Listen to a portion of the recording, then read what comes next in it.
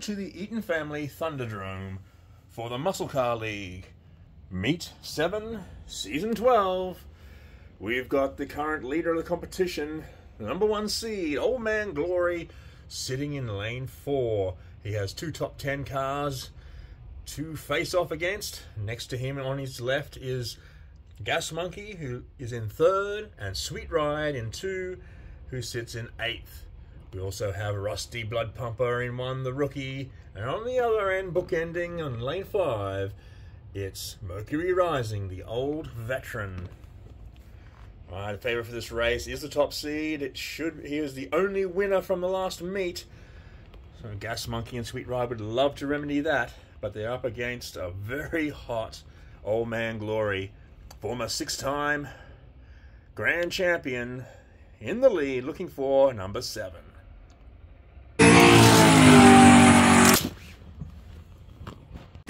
Tight, even race onto the flag. Rusty Blood Pumper's backing off with Sweet Ride passing him, but look at Old Man Glory in four, taking the victory. That was a good win. Very good win. Old Man Glory was second overall last meet, going down to Soundbreaker. He's into the championship race for meet seven. One more time to see if he can get back into the winning lists. Sweet Ride had a great. They were all great. It was a very, very close race. Even Rusty Blood Pumper wasn't too far off. However, that's his fourth dead last and his second in a row. He's not looking too great, but he's not too far off.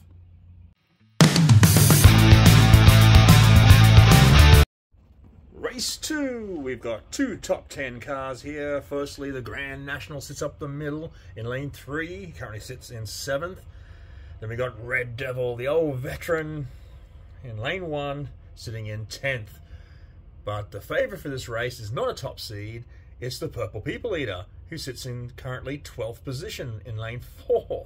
On the strength of he is the only car in this field that won last meet. And pundits have figuring that his run has started.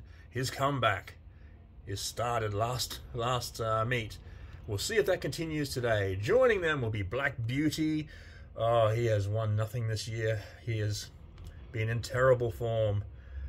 Terrible form. And the other car is Hot Lava in lane 5. Good to see the two Regals up against each other. Which is better, the Grand National or Hot Lava?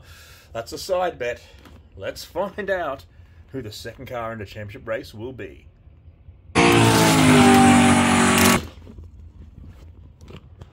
Purple People Eater and Hot Lava head to head on the inside, and look at the Red Devil scorching on the outside. He's gotten past.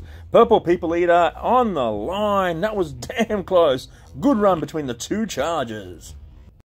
Little bit of an upset there, just just slightly even though Red Devil, that's his second win of the season. Uh, last win was in meet four, meet five, and six. Well, a couple of second places in the preliminaries. So he's got some good form. So it shouldn't be that much of a surprise. Ah, the run has ended, has it? Has it really? Before it even begun. Poor old people, Purple People Eater. Well, and the Grand National beats Hot Lava, so that shows you who the best Regal is. And Black Beauty, as as mentioned, coming last, not doing much, not doing much at all.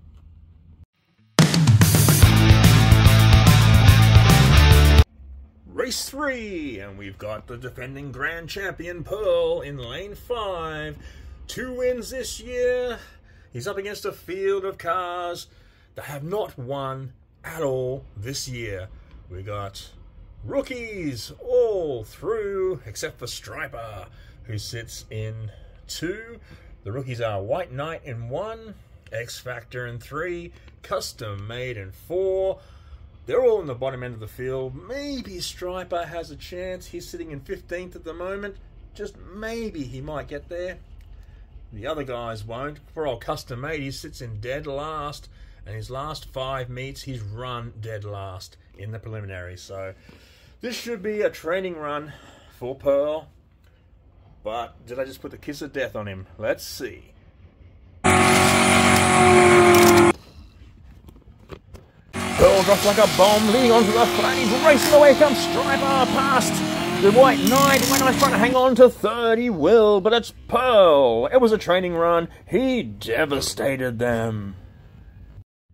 Is the defending grand champion back? He's put back to back wins in consecutive meets for the first time this season, and he does sit in eighth position. So, is this the run? Is it coming?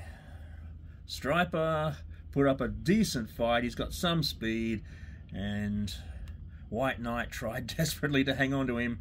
The other two, though, they were fighting out for last, and X Factor just made it across the line before Custom Made. There we go. We've got two semi-finalists from last week.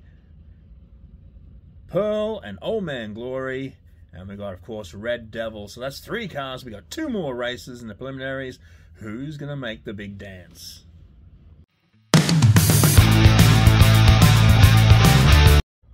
Race 4, and the favourite for this race is the top seed, sitting in 5th position. It's El Campeon, up the middle, lane 3. He is the only car in his field who won last meet. He is the unbackable favourite. He has five wins, the last four consecutively. Looking damn good. His competition, though, is Musclebound in lane one, Blue Meanie in lane two, Freezing Falcon in four, and White Chocolate in five. Now, not far off the top ten are Blue Meanie, it's in 11th, and Musclebound 13th. They're looking, if they can get a win here today, they can break into the top 10 for sure. Big ass though against El Campeon. He's on fire. Uh, Freezing Falcon has worked his way off the bottom of the ladder into 21st. he was running dead last for so long. Oh, he'd be, he'd be happy to be in that position he's in. But poor old White Chocolate to his right assumed that position. He is equal last on that bottom of the ladder. There you go. All right. Who's going to be the fourth car in?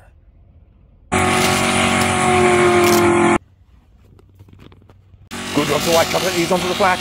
Blue Meanie and Falcon are past him. Blue Meanie has the lead. Muscleman's right his hammer. Oh, poor old El Campeon coming in third. What an upset. Oh, Blue Meanie for the win.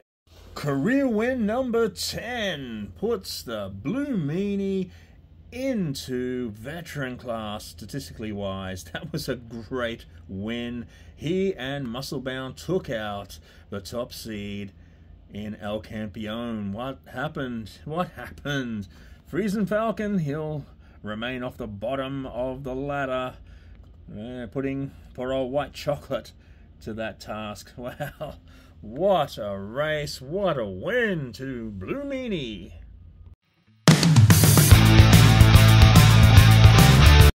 Race 5, last of the preliminary rounds, and there sits the Meet 6 winner up the middle in lane 3. It's Soundbreaker. He currently sits in second position, one point behind Old Man Glory. If he gets into this race, championship race, and can beat Old Man Glory. He'll take the lead today, but he's got to win here first. To his left, sitting in fifth, is Big Bad Bluer, uh, the legendary four-time former grand champion. And then to his left, we've got Bullet, who sits in third. He led the competition early, but has kind of stagnated a bit. But that's the big three there. Three top ten cars on the left-hand side of the field. On the right, we've got Firestorm, the veteran in four, and Candy Rouge, neither winning this year, both consigned to the lower half of the ladder. Not expected to do much, especially against these top three cars. Let's see, can Soundbreaker do it?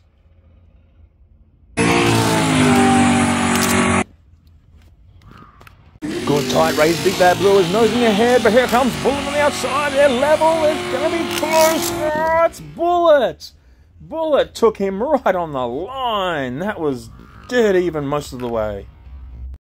Big upset here. Bullet is in. He beats Big Bad Bluer and Soundbreaker to get into the championship race. And this is his first championship race since Meet 3.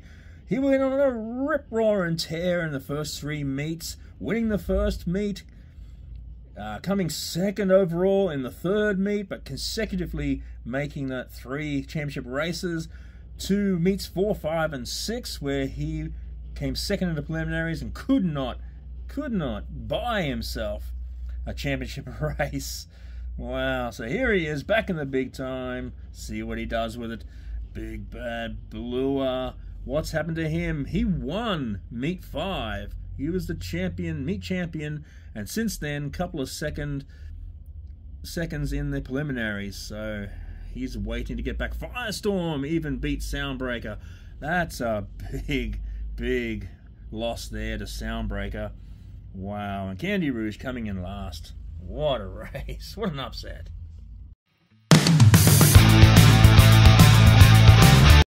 It's championship race time. Yes, these are the five quickest cars of the day. Four of them are top 10 cars.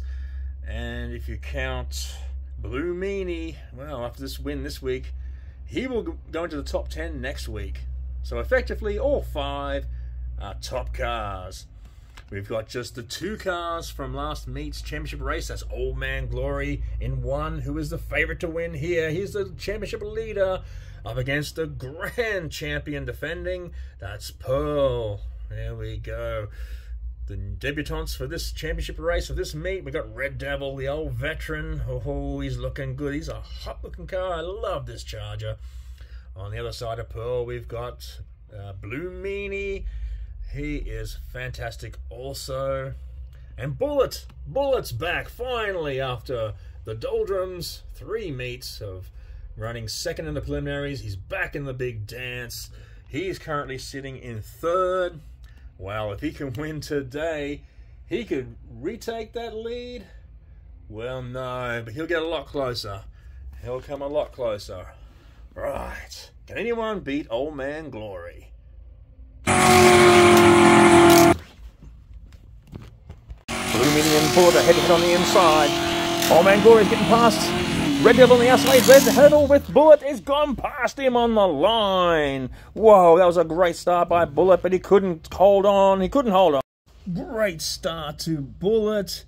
Bit slow for Old Man Glory, but once he got onto the flat, he rocketed past Red Devil, leveled Bullet, and got past him on the line. Oh, Pearl was up the middle, but could not do anything better than third.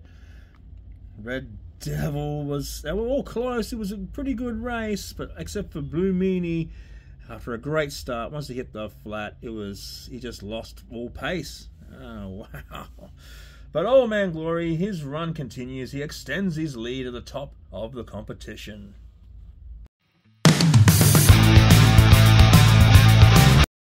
Time for the standings, and with that win, Old Man Glory has a 12 point lead over Bullet, now who moves into second place past Soundbreaker by two points. Wow, look at that. Gas Monkey is in fourth. Big Bad Bluer in fifth. Just one point behind him is El Campeon. Uh, further up into the 10 goes Pearl, the defending grand champion, up to seventh now the Grand National 8, Red Devil 9, and rounding out the 10 is Sweet Ride on 34 points. Oh, I really thought Blue Meanie would be in the 10, but he's 5 points in arrears, still in 11.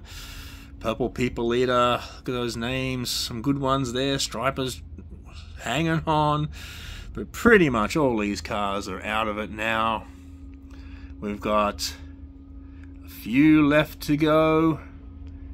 We got three meets left. And I'm telling you, if Old Man Glory can win one one of those, next one, he's got it sewed, man.